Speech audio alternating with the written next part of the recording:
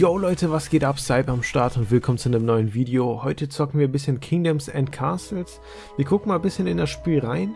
Und ähm, ja, es ist ein Aufbauspiel. Bisschen Strategie. Ähm, wie man sieht, auch ein bisschen den Block-Style, was äh, scheinbar ja äh, immer noch Trend ist. So, dann choosen wir mal unseren Banner. Nehmen wir mal den hier. Frostfall. Ist okay, so nennen wir unsere Burg. Ist ein Aufbauspiel. Ähm, alles so circa, ähm, hm, wie könnte man sagen, äh, im Mittelalter-Style. Burgen bauen, kleines äh, Dörfchen aufbauen und dann immer weiterentwickeln. Und äh, ja, es gibt wieder mal ein neues Video. Lange habe ich mich nicht mehr blicken lassen. Die Map, die sieht ganz in Ordnung aus. Äh, wo bauen wir denn unser Königreich auf? Unsere Burg. Wir könnten hier anfangen. Hier ist eigentlich ganz gut. Da sind mir zu viele Steine, die könnten das alles noch blockieren. So, fangen wir mal damit an, indem ich euch hier das ganze Interface erkläre. Ich muss mal ein bisschen darauf schauen, ob die ähm, CPU-Auslastung und so weiter alles in Ordnung ist. Ich habe lange nicht mehr aufgenommen und musste alles neu einstellen und installieren. So, oben links sind die ganzen Informationen, wie viele neue Bürger und so weiter dazugekommen sind. Hier weiter ähm, haben wir dann gleich die Anzahl der Bürger und äh, Happiness, wie viele Betten vorhanden sind und so weiter. Äh, hier haben wir Holz, Steine, äh, Futter, also Essen, ähm, Geld, Kohle, Iron, also Eisen, Werkzeuge und Rüstung. Hier haben wir die ganzen verschiedenen Kategorien. Und zwar einmal die Burg. Das ist unser Häuschen, da wohnen wir drin. Ja, noch ein bisschen klein. Der Burgfried. Und den stellen wir hier hin. Hier ist ganz in Ordnung. So, mit den Pfeiltasten kann man so ein bisschen die Sicht ändern. Drücken wir mal auf Play. Da sind auch schon verschiedene Sachen aufgeplöppt. Bauen wir jetzt... Ja, bauen wir als erstes ein paar Häuser. Okay, das war's auch schon mit den Häusern. hier was zu essen. Und machen das mal ein bisschen schneller. So, bisschen Holz farmen. Das braucht man am Anfang relativ viel. Und da haben wir unsere drei äh, Advisor, äh, Berater, sowie der Trump. Die hat aber alle rauskickt. So, good, good days. Äh, good day, Sir. Bla bla bla. Wir brauchen Farm. Ähm, wir sollen ein paar Straßen und Häuser bauen und die hält sich meistens bedeckt und fängt erst an zu brabbeln, wenn wir angegriffen werden.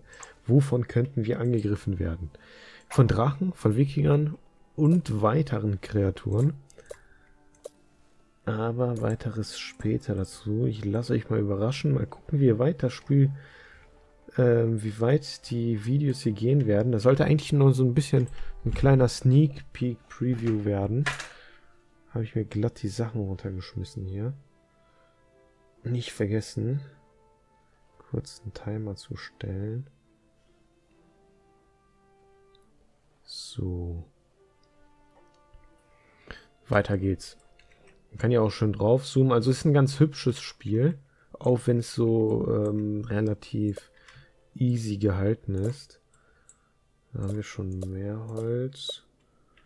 Müssen wir jetzt Stein abbauen. Da kommen wir aber so direkt nicht dran. Es gab aber was, womit man sowas abbauen kann.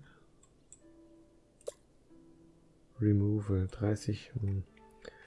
Hier, dann müssen wir uns woanders Stein suchen. Das ist der helle Stein. Da unten. Zum Glück doch nicht zu weit weg. Stein und Holz ist eigentlich am wichtigsten. Industrie. Nee, das hier nicht. Das hier.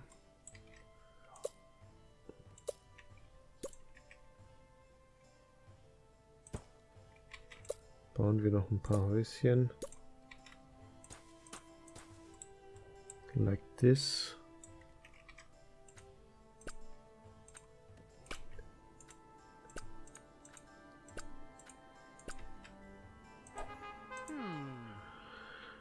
So, wir brauchen ein bisschen mehr Essen, aber wir haben gerade mal 8 Bevölkerung, von daher sollten 17 eigentlich reichen. Die Tante heult immer rum. Kann man das auch mal getrost ignorieren, die heult eigentlich bei jeder Kleinigkeit rum. Construction. Okay, wir haben zu wenige Arbeiter. Wir sollten ein paar Gebäude closen, damit wir das bauen können. Aber keine Sorge, wir haben genügend. Das waren nur die paar Leute, die Holz holen waren. Die arbeiten jetzt hier ran und fertig. Jedes Jahr kriegt man neue Bevölkerung und dann sieht man hier ähm, immer so ein Resümee. Äh, sagen wir mal, zehn Leute sind gekommen, aber fünf haben nur einen Platz gefunden oder fünf wollten nur bleiben oder gar keiner wollte bleiben. Und da hat man halt immer so verschiedene Angaben. So.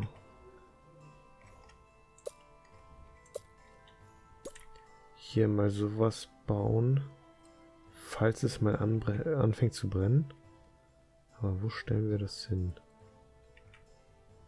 Machen wir das hier hin? Hier kommt dann so ein Weg hin. Ich baue gerne so in Blöcken. Habe ich mir so von Arno äh, und so weiter angewöhnt.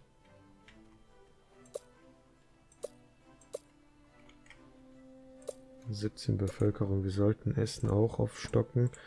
Also man sieht auch schon, die Karte, die sieht auch ganz schön bunt aus vom Boden her. Äh, das liegt daran, dass dieser Boden hier sich überhaupt nicht ähm, eignet für Landwirtschaft. Der ist eher, ähm, wie heißt es, Barren oder wie auch immer man das ausspricht, lese ich ja auch in dem Spiel das erste Mal. Ähm, das ist eher mir, fängt, mir fällt das Wort nicht ein. Äh, karges Land. Das ist ähm, so mittel und das ist, das hier ist sehr gut. Hm. Äh, hier Agrarkultur, Wirtschaft, die kümmert sich immer ums Futter. Winter. Was ist hier denn für eine Meldung? Ähm, wir bauen den hier auch noch sowas zum Lagern hin. Für... Habt ihr es gehört? Da kommt ein Drache. Da ist auch der Kollege schon. Der kommt ganz schön schnell. Ich habe schon ein paar Aufnahmen gemacht, die habe ich aber leider verkackt. Und der zündet auch sofort. Nee, okay, gut. Das letzte Mal hat er auch nichts angezündet. Beobachten wir den Kollegen mal.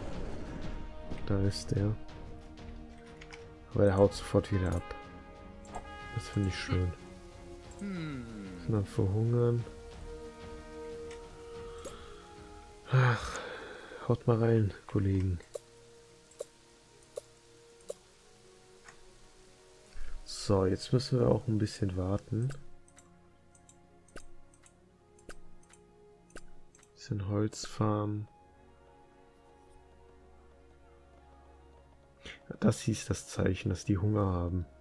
Okay. Bisschen Food haben wir zusammen. Wir bräuchten so ein Lager. Ähm...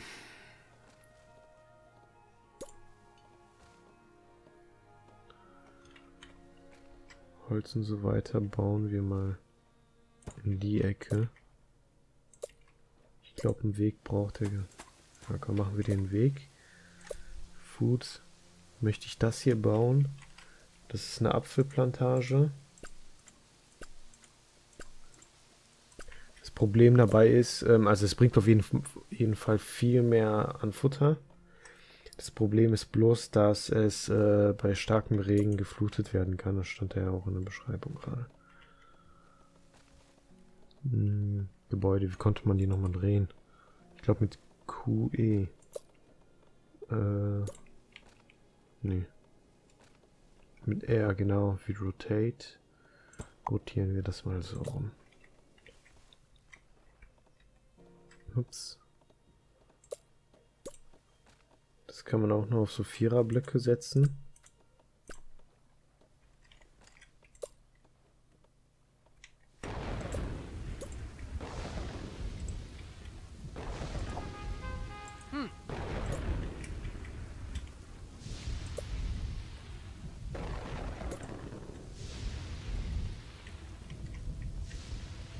Ich weiß nicht, ob wir hier Häuser einbauen sollen, weil das Land hier so gut ist.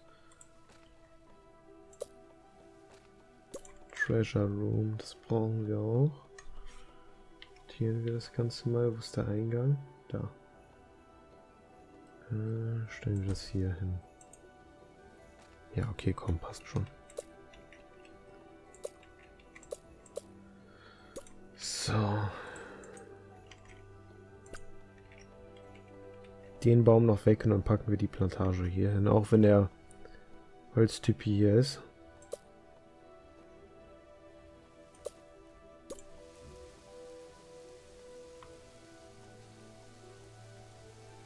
Fällt den Baum auch jemand?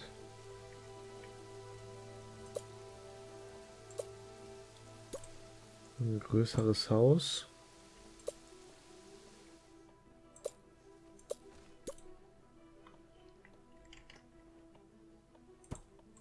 Machen wir das so. Wenn das zu lange dauert, dann lassen wir das.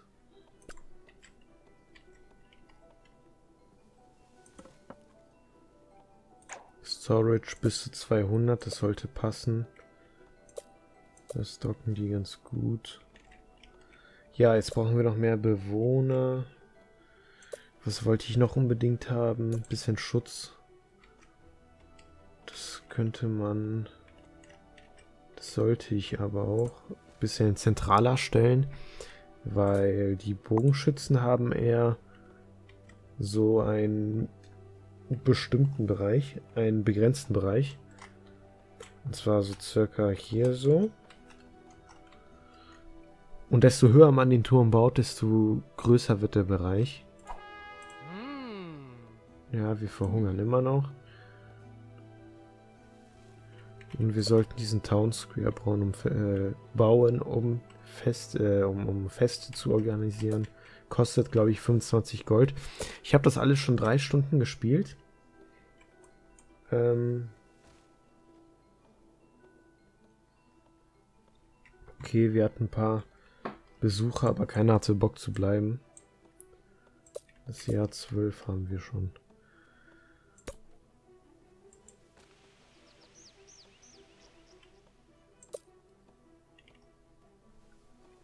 Okay, nice. Das haben die gebaut.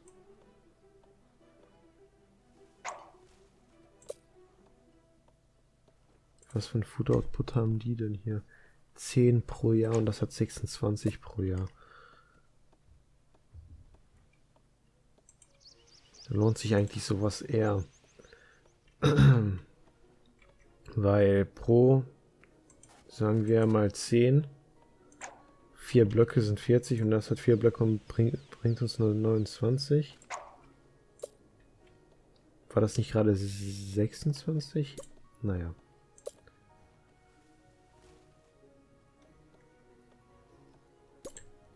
Bauen wir hier noch. Brauchen wir einer? Komm, können wir machen. Das war auch schon die erste Folge. Ah, Maus bleibt mal schön hier. Ups. So. Das war die erste Folge. Ich hoffe, euch hat es gefallen. Ein kleiner Einblick in das Spiel. Ähm, ist ganz interessant.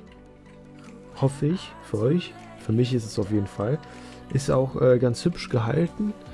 Und ähm, wir sind noch annähernd nicht weit gekommen. Also es gibt noch einiges, was wir bauen können und sollten. Und äh, um die Wirtschaft hier voranzukriegen. Und ja, bis zum nächsten Mal. Haut rein und ciao.